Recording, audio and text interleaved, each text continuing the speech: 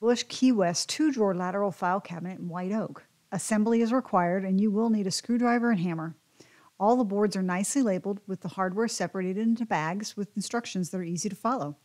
It measures about 20 inches deep, 30 inches wide, and 30 inches high. It looks great assembled, and I plan to organize scrap vinyl and cardstock in the top drawer and important papers in the bottom one.